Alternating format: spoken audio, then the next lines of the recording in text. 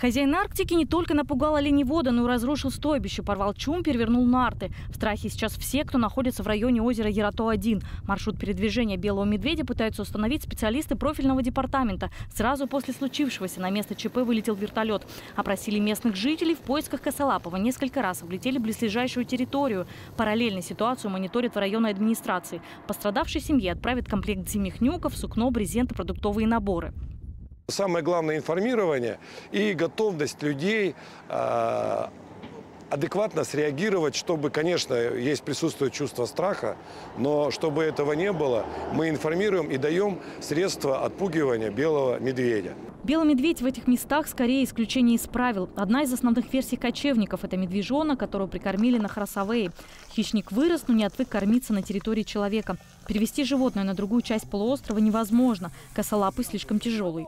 Это еще не дает никаких гарантий, что он не вернется со временем. То есть за, за вот этот период э, летний, что он в итоге перемещался по территории полуострова, то есть он уже понял, да, что, что такое представляет себе человек, что это какие-то дополнительные пищевые ресурсы, соответственно, э, переселение его на какие-то другие расстояния может не оказать должного эффекта. Белый медведь – краснокнижное животное. Отстрел хищника строго запрещен. Ликвидировать его можно лишь после разрешения Росприроднадзора. Запрос ведомства уже направлен. Тем временем у оленеводов появилось еще одно предположение. Возможно, это тот самый медведь, что в июле напал на Олега Лаптандера. Мужчина чудом выжил. Его внучка и жена отделались испугом. Здесь на, на факторе вообще ни разу не появлялся белый медведь.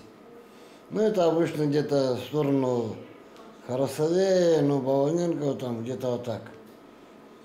А здесь что-то он не должен был появляться.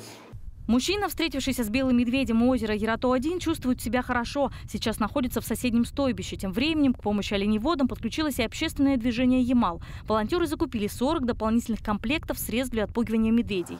Юлия Шнайдер, Антон Соболев, Вера Дронзикова. Время Ямала. Ямальский район.